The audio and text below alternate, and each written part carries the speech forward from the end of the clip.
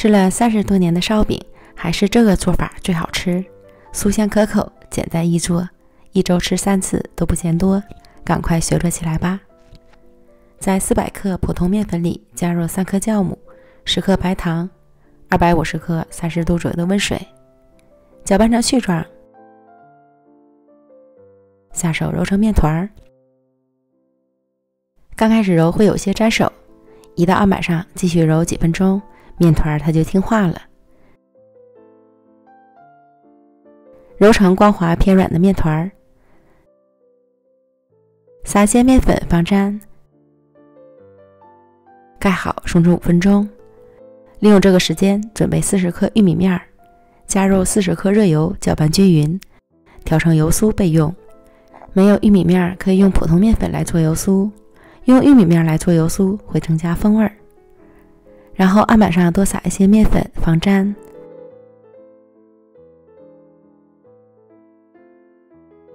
再将面团擀成长方形的大面饼，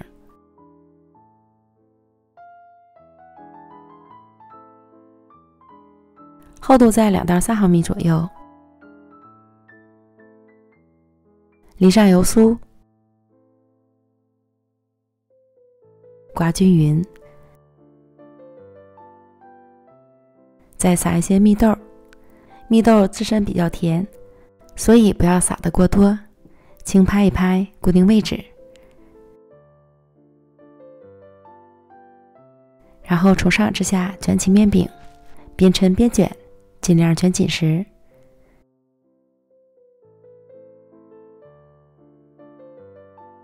再平均分成八份儿，取一个面剂，先将两头捏合。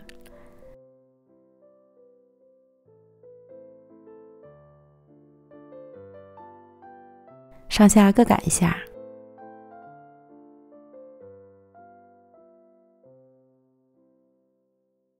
卷起，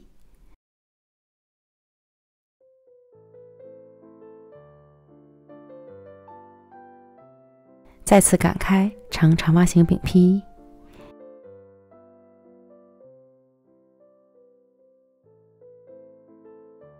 依次将剩下的全部做完，盖好保鲜膜。醒发二十分钟，醒发至形状稍微饱满即可。电饼铛开中火，预热刷油，放入饼坯，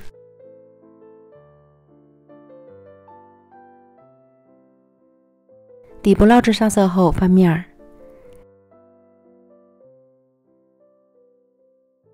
另一面烙至上色，再翻一次面儿。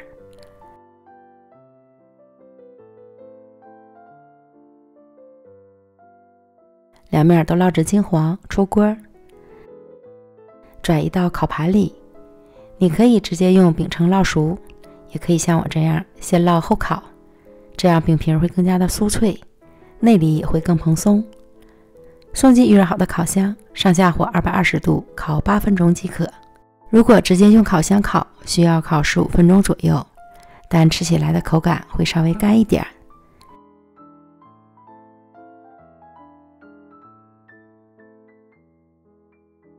现在放凉了一些，稍微有些回软。